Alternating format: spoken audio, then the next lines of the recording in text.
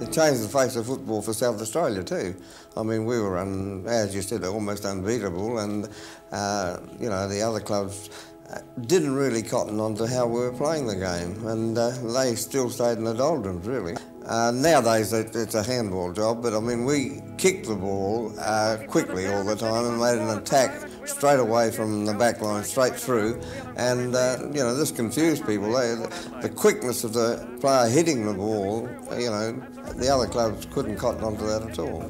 He was the, the number one influence on my career without a question as a, as a player and as a coach. Like when I was asked to take over the coaching reins, I really had just finished playing. I was probably going to play on in um, in '96, but uh, right at the end of the pre-season, I thought, uh, no, I reckon I've had enough. And um, then when Brian come to me about being the coach, um, yeah, the first person that I spoke to was Dad, and we just talked through different things. And um, yeah, he was such a, a amazing influence, and um, and he wasn't the sort of bloke that would um, you know ring up and say you should do this, you should do that. He was just there that you know if you were willing to ask, uh, wanted to know something, he'd be there with uh, with all the answers. So um, to have that sort of resource, um, I was really lucky. He was able to, you know, use the intelligence intelligence that he had to, um, you know, do stuff in coaching that um, people are doing now, and they're sort of thinking, "Wow, isn't this fantastic?" But Dad was doing it back in the '50s, so uh, he was certainly a visionary and very much, um, you know, before his time. I've got books there, 1972 Dad would have me writing every stat out from every player. They publish it in the news. So then I had to keep it in a book so he could work out who was standing who, what the stats were, all of this. So way before champion data, we had Jenny and Fos data, you know, that would sit there. And then he would take, he would make notes for all the players, not only during the season, but at the end of the season, saying good things saying what he wanted them to do better. Yeah, I learned a lot from, from a lot of good people. Fos Williams was my first coach, um, and Fos, everyone knows, renowned as the as one of the greatest coaches in Australia, and, and a great Port Adelaide man. And um, he was a rover, as I was, and Fos, as much as people always thought he was ranting, raving, Fos, uh, and he was in that sense for the team.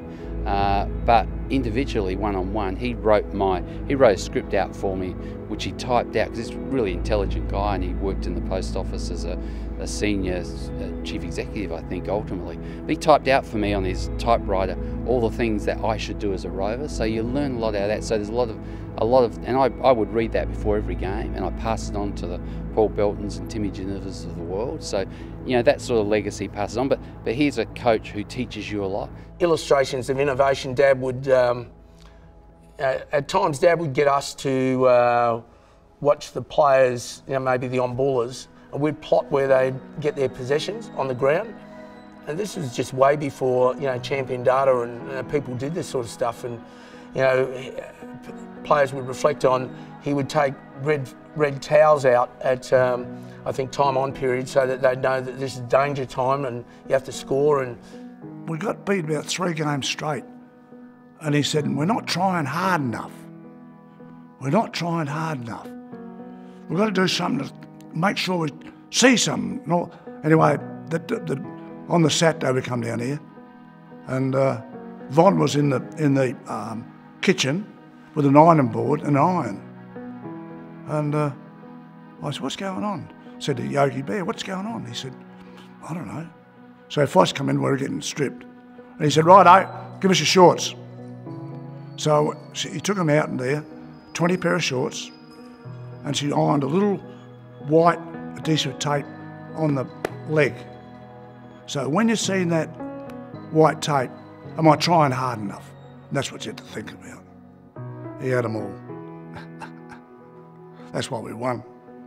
You know, he was as soon as Port Adelaide said, "Look, we want to play in the national competition." He was very much, you know, you know, Bruce come to Dad and asked him about it, and he was 100%. Yeah, let's let's do it. Let's make the decision and go in. And um, yeah, that um, you know, I played in in six premierships and coached three in the SANFL, But you know, the day that we won in at the MCG was just, um, you know, it was another level above all that. Just to be to see all the guys that I played with, um, the older guys that played for Port Adelaide, everyone just come together, and it was such a, a wonderful achievement that um, the, the, club was, you know, the only club to come out of suburbia, be admitted into the AFL, and um, you know, bring all its history and its uh, fantastic support and that, and, and to win that on that day in 2004 was um, yeah, something that uh, we love and cherish and we'll never forget. Here he comes.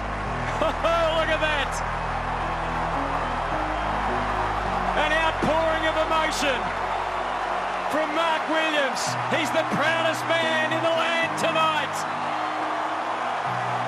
I asked him yesterday whether he felt that his late father and his late brother and his mother, who recently had heart surgery, were with him today. He said he did. Look at that. There it is. It's all over. Port Adelaide. They had the power to win. And it was very much history in the making today. I think he was there that day. You know, like um, uh, the special. There were two special things. Um, the fact that Mum could go was really important to us because she just had an operation for a heart operation. We didn't think she was going to make, and then she actually got to go to the grand final. Uh, you know, I went down the end there, and uh, Mum come down in the crowd, and I uh, embraced and gave her a kiss over the over the fence. Wow, pure magic. And when Mum was there, if Mum's there, Dad's there, and um, just Dad would have been going, This is why we entered the AFL. This is where we are. This is where we belong. And this is what people need to see that, you know, we strive to get there and we made some mistakes maybe on the way. And that's what I said about learning. Dad would have been proud that Mark wasn't the same and he continued to learn and change, and the players were challenged. Um, he would hopefully be like me and go give them all a medal instead of just the ones out there because it is every player and person in the group. Yeah, he was just a loving father. He was uh, very much uh, looked after his children, made sure that they had the best of everything. Um, worked really hard so we could, uh, you know, probably have more than what he had as a kid growing up. Um, to come here at Novar Gardens to live opposite the golf course, you know, we were out there playing golf, playing tennis on the tennis court. So um, yeah, he provided a lot of things for us and certainly set us set us off on a, a good path to um, you know carry on that tradition when we had our own children. He was um, proud of all his children. That was the beauty of Dad. There was no favourites. Um, you know, even though I was the young one, they used to call me the golden child, but. Uh, I don't think I, I was any more a favourite than everybody else. And obviously, when Anthony died, it devastated everybody, and and certainly mum and dad. But um, being a strong family, we were able to get through that. And uh, you know, he's always in our thoughts. It's been a long time since he's gone, but still very raw. When he died, that took more out of my dad than anything that I can possibly imagine. Um, Dad always felt that there was a fairness to effort and what you did in life, and then all of a sudden, the person who probably put in the most effort, you know, like to get where he wanted all the time, was taken from us. And um, while mum's mum, I think, sort of having a really strong faith was, yeah, okay, we're going to keep going. Um, Dad, from that moment on, was always a little sadder in life, and um, Dad was proud of everything that Anthony could do. And so were we all. So when I got married, I had a number nine and his badge. And so we carry him with us every day. And that's the way I look at good people that we've lost. It's the same with mum and dad. On his 100th birthday, I'm not going to celebrate, you know, oh, be sad my dad died. I'm going to celebrate that he lived and what a life we all had together.